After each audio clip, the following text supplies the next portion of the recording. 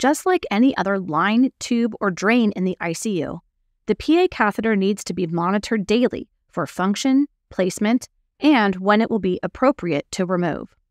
The best way to avoid complications, which we will discuss in the next lesson, is to be vigilant and systematic about monitoring.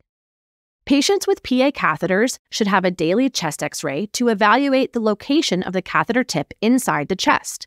A portable chest x ray is sufficient. ICU patients often have multiple lines and tubes in place, so the first step is to identify the PA catheter. Start at the point of entry, which is most often the right IJ. Here we see a radio opaque tube starting to the right of the trachea as expected. Follow the course of that tube, which should proceed into the cardiac silhouette at the superior vena cava RA junction, into the right atrium, the right ventricle, and then curve upward through the RV outflow tract into the pulmonary artery. In this example, the tip of the catheter is in the left pulmonary artery.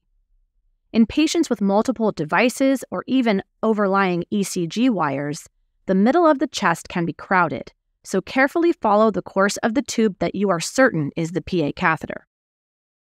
Once in the main PA, the catheter should curve either to the right into the right branch of the PA or the left into the left PA branch.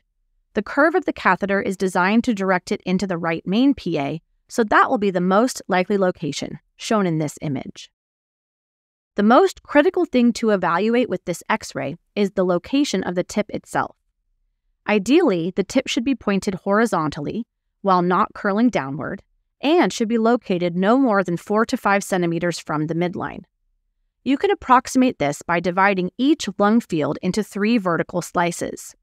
The tip of the PA catheter should end at the outer edge of the medial slice. You might be wondering, why does this matter? Remember, we want the tip of the catheter to be in the proximal right or left main pulmonary artery.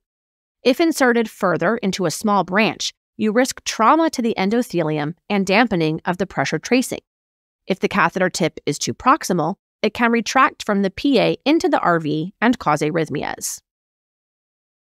There is a second way to check the location of the catheter tip and correlate it with the chest x ray image. Evaluating the pressure waveform gives us clues about the location and function of the catheter. The tip should be resting in the main PA, so the waveform should be an arterial waveform with a dicrotic notch, as shown here. If the waveform is not as expected, bedside evaluation can help to troubleshoot. First, set the monitor to enlarge the PA catheter waveform. Next, level the pressure transducer with the patient's left atrium in the armpit and zero the system. Finally, consider whether the tip of the catheter is resting against the wall of the pulmonary artery. In that case, flushing with saline can dislodge the tip. Check the waveform again. If it is a lower amplitude venous waveform like this, it could be that the catheter tip is in the wedge position even with the balloon deflated. This would indicate the tip is too far into the vasculature, and with the balloon deflated, you can withdraw by 1 to 2 centimeters until the PA waveform reappears.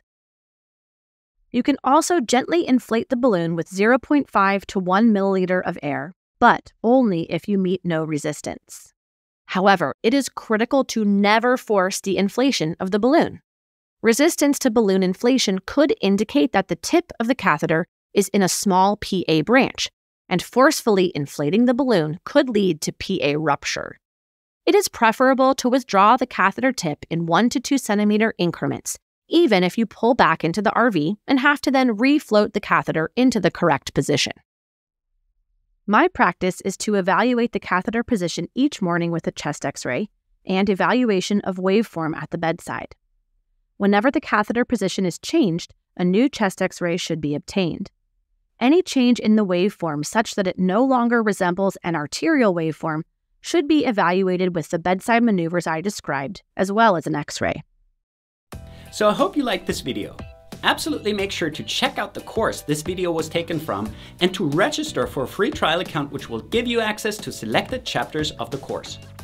If you want to learn how Medmastery can help you become a great clinician, make sure to watch the About Medmastery video. So thanks for watching and I hope to see you again soon.